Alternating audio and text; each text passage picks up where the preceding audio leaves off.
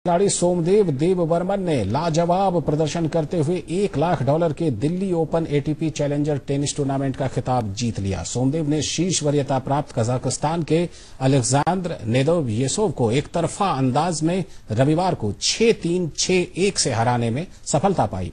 विश्व रैंकिंग में अपने से चार स्थान ऊपर स्थित कजाक खिलाड़ी को हराने में सोमदेव ने केवल एक घंटे का समय लगाया। शानदार फॉर्म में चल रहे भारत के शीर्ष एकल टेनिस खिलाड़ी।